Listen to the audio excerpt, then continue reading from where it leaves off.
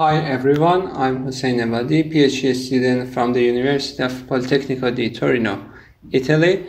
I would like to present you a research work conducted by our team with Professor Antonio Cammi and Professor Laura Savoldi. The title is Improving the Overall Thermal Performance of Parabolic Trough Solar Collectors using Porous Media. Through this presentation, after a short description of the role of solar energy systems in the words uh, sustainable development, I will discuss the concept of the work followed by description and modeling consideration. Then results will be presented under the hydraulics and thermodynamics point of view, and the main points will be summarized at the end. Sustainable Development Goals, also known as SDG, is a systematic framework to tackle the main global challenges such as poverty, inequity, and environmental degradation. As you can see, there are some headlines, each of which represent a specific topic to be addressed through this framework. What is of interest to this study is number 7, indicating affordable and clean energy. Having in mind that the climate change impacts are booming and today the world engulfed with such climate disasters, we must pay higher attention to the energy providers and resources.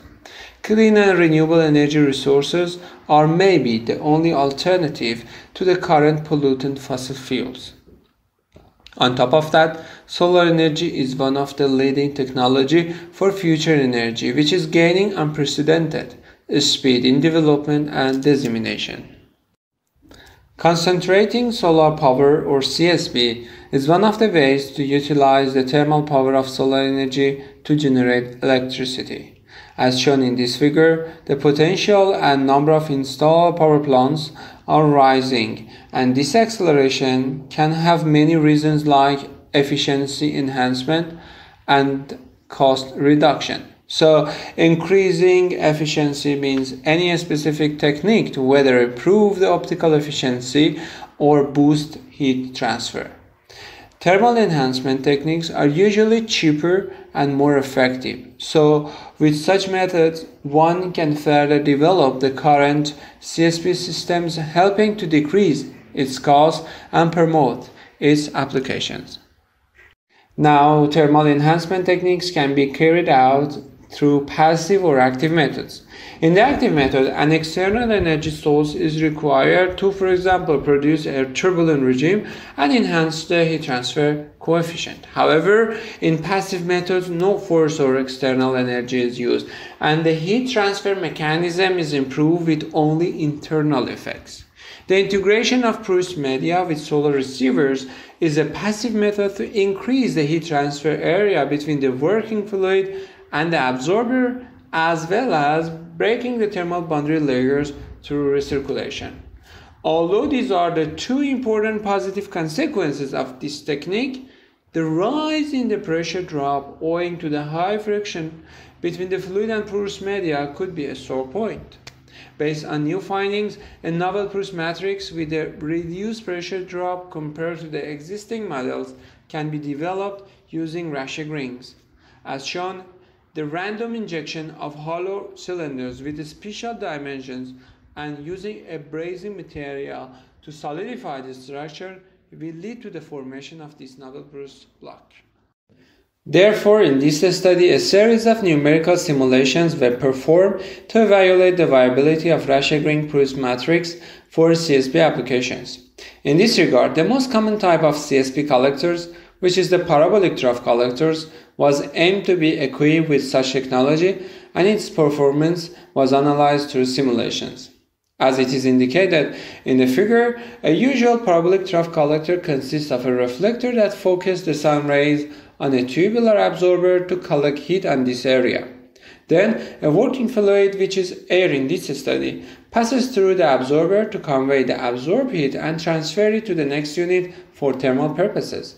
A tubular glass envelope is also included in these systems to minimize heat convection loss and improve thermal efficiency.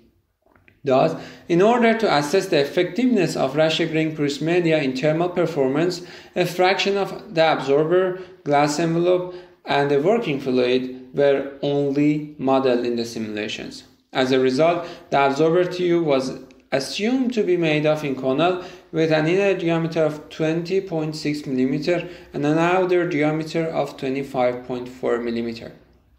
A tubular glass envelope was also developed with an inner diameter of 30 mm and outer diameter of 32 mm.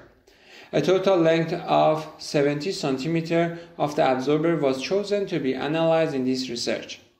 This fraction was then divided into two pieces. The first fraction with uh, 50 cm smooth pipe where the inlet flow condition was set at the boundary conditions and the second fraction with 21 centimeter which was studied under two options. First, the smooth pipe with fully developed conditions and inlet and outlet boundary interfaces.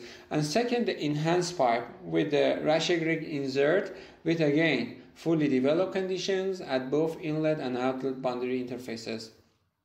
Please note that the connection between the first and the second fractions was made using the outlet data of the first fraction such as velocity, uh, mean bulk temperature and turbulence criteria to be input as the inlet data for the second fraction simulations. To apply an accurate thermal modeling, first solar radiation was simulated using the data in the literature, which led to the distribution of local concentration ratio on the tube wall. As shown on the right figure, the parabolic configuration of the reflector results in two peak values on the wall of the tube, roughly located at the bottom section. Please note that referring to the linear arrangement of the parabolic trough collectors, this distribution is longitudinally uniform.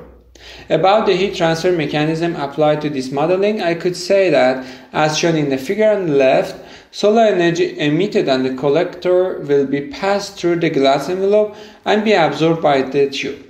It should be noted that a fraction of heat is stored in the glass and causes the temperature rise on its wall. The energy absorbed by the absorber tube will be then conveyed to the working fluid, which is known as useful heat.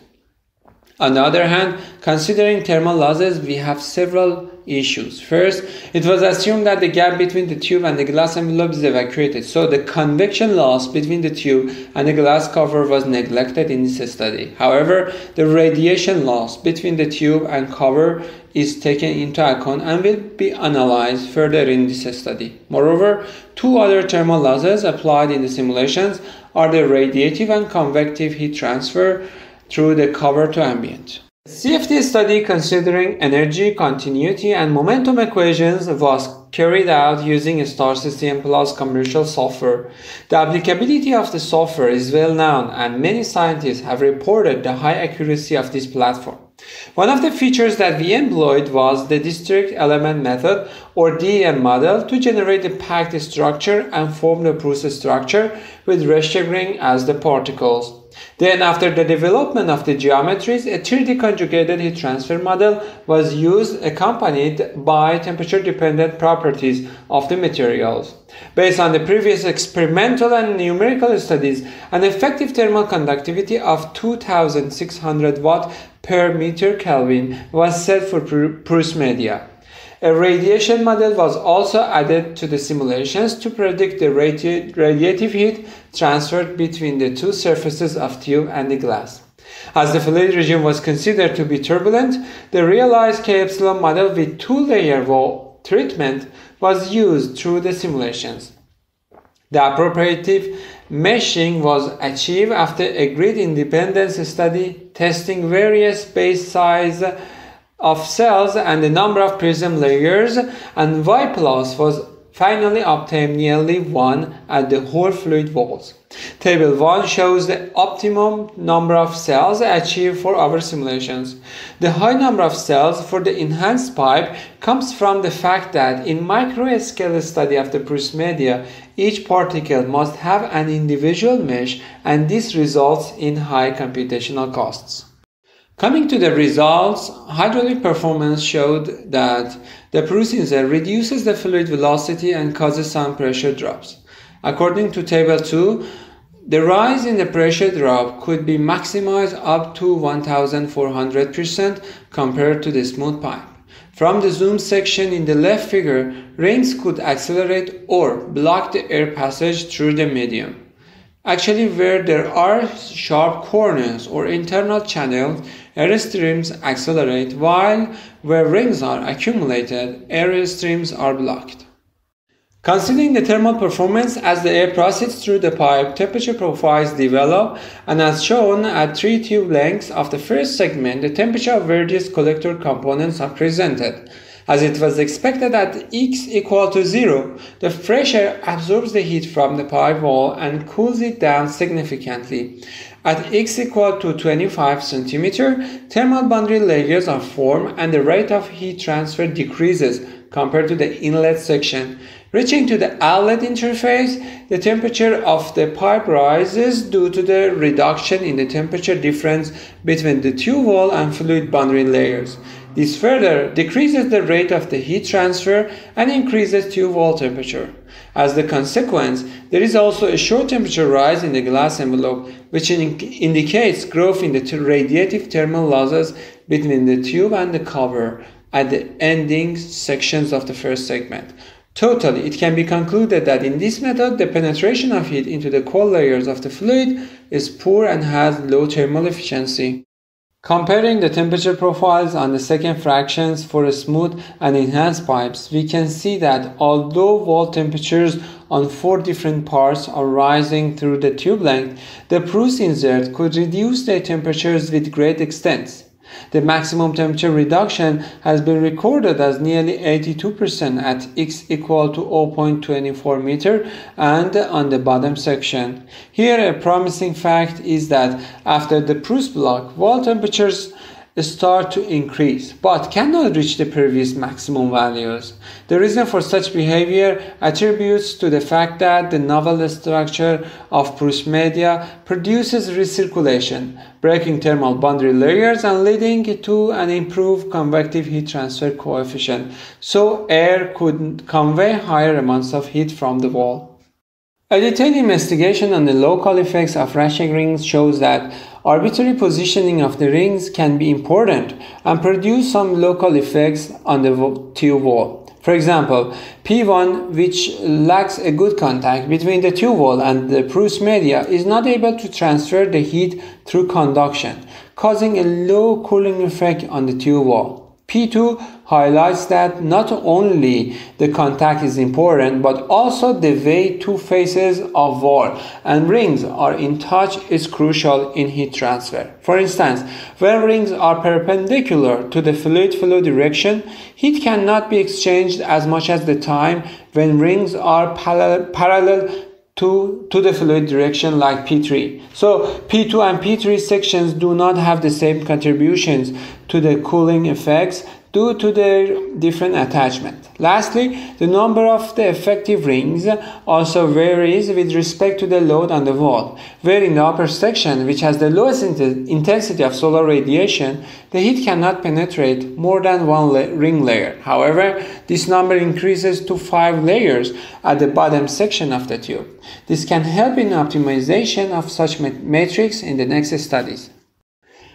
Thermal performance in terms of 3D tube wall temperature is presented here considering the full pipe in the second fraction for both smooth and enhanced pipes. As shown on left, the temperature difference between the two tubes at the bottom part is significant. Moreover, the Raschig ring porous insert not only can affect the length that is covered by its dimension but also its upstream and downstream are influenced and have been benefited from its cooling effects compared to the smooth pipe. The Sankey diagrams developed for two pipe models concerning the thermal losses show that Raschig ring insert could increase the useful heat up to 21% and reduces the thermal losses from 21.8% to only 4.2% of the total solar energy received. And finally, here are the main points found in this research. The Raschig-ring porous insert uses the higher heat transfer area as well as breaking fluid thermal boundaries to enhance useful heat while producing some pressure drops. The application of the radiation model needs attention and consideration of the fact that some rays will be sacrificed through the ray tracing at the inlet and outlet edges. So to mitigate this issue, models must be encased to block extra emittance. More experimental studies are needed to optimize the structure of such porous media for the integration with solar collectors. Thank you so much for your attention.